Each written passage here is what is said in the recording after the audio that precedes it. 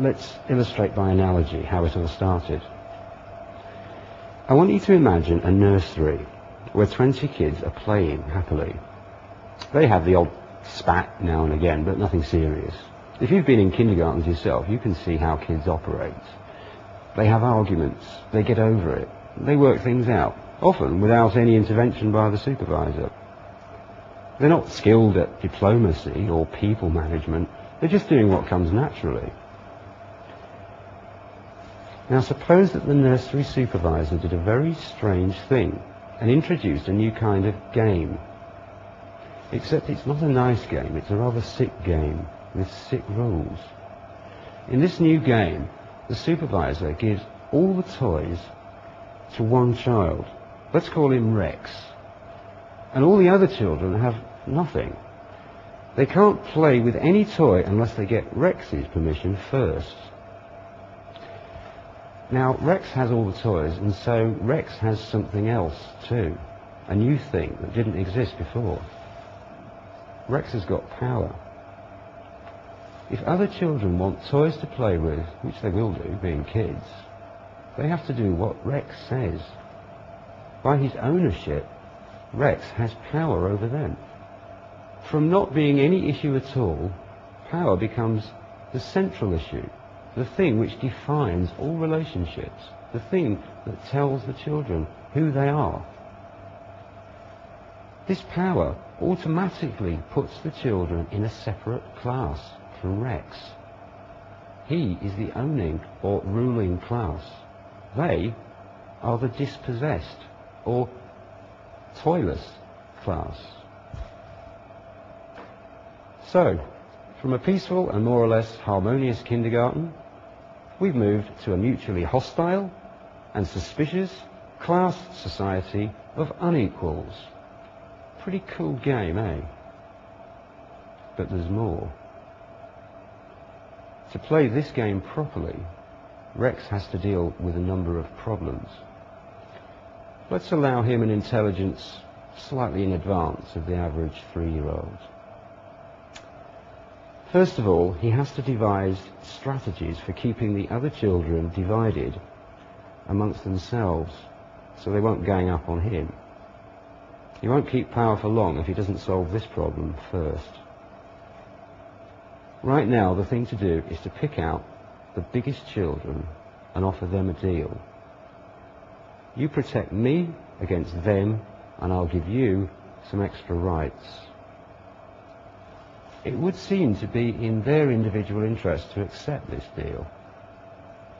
This small band of big kids can be Rex's police force against the toilers. In fact, they can even be his toy soldiers against the world. If any of the toilers get out of line, the toy police can soon give her a black eye and put her in her place. So Rex has invented a coercive hierarchy with himself at the top. So far so good. But it doesn't take long before Rex finds it rather tedious to have to spend his entire time giving orders and organizing everything. Why not hire some administrators to do it for him? Good idea. Well, now he's just invented a kind of coercive state administration, all to protect his property and his position. But it doesn't end there. He doesn't want pandemonium and endless arguments. He wants a stable working system with himself in charge. What he really needs is legitimacy. He needs to make the children believe that it is entirely natural, right and proper that he should have all the toys and they have nothing. If they believe this, they won't see any reason to rebel rebelling against Rex would be as ridiculous as rebelling against the sun or the moon or the rain. So how do you make something seem legitimate? Answer, propaganda and persuasion. Rex needs to come up with a lot of propaganda to justify it all, which we can call a set of ideas or an ideology of power. He then teaches this ideology in the kindergarten, in the new school lessons he has devised. We don't need to know what this ideology is. It doesn't matter how he justifies himself, as long as he does. He can say anything he likes, as long as it works. He can do other things too, like dress up in fancy clothes, maybe wear a wig when he's judging wrongdoers, sit on a tall chair so that he looks down on everyone, speak in a funny voice, use long or foreign words that he knows they won't understand. There are all sorts of things he can do to sound important, big and clever. Eventually, if he does it right, they'll believe he is more important, big and clever than they are. And they'll believe in the natural order of things. He will be the natural order of things to them. They will never rebel. Or maybe they will. Hmm. What could he do to make doubly sure? In the long run, the best trick is if he can teach them to hate each other. Whites and blacks, boys and girls, Jews and Gentiles, big ears and little ears. Again, whatever works.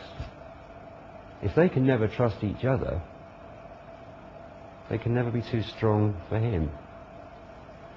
So he starts to give treats to the white kids, but extra punishments to the black kids, saying that blacks don't really deserve any better. And he encourages the whites to bully the blacks. Ideology. Divide one way. Clever, hey. But not only that, he tells every boy to take a girl as his personal property. And if she doesn't like it, give her a black eye.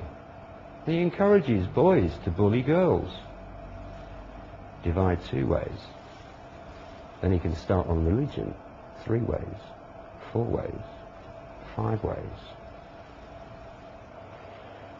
There are any number of possibilities because children are all different and you can exploit those differences.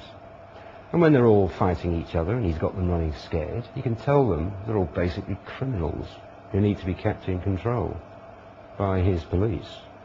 He can tell them that they need even more police, more criminal laws, more sin bins, more surveillance.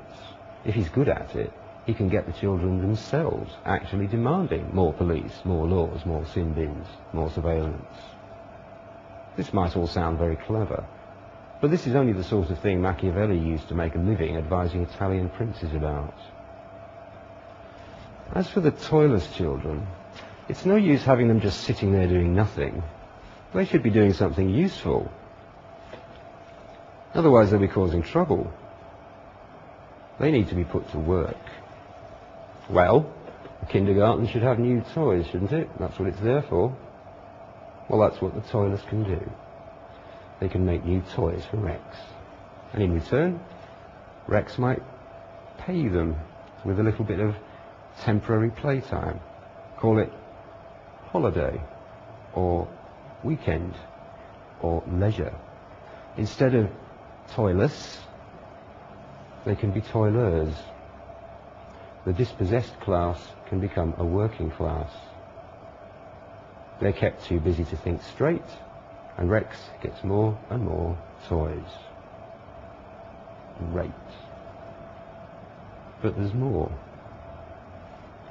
Rex has got ambitions for expansion. He's got his eye on a kindergarten over the road and all the lovely toys in there. Not only that, but he's worried. His opposite number over there might be thinking about expansion too, into Rex's territory. What Rex needs to do is act first get across that main road with a big toy army. And don't forget, he can explain to all the children that it's all a question of defense ideology.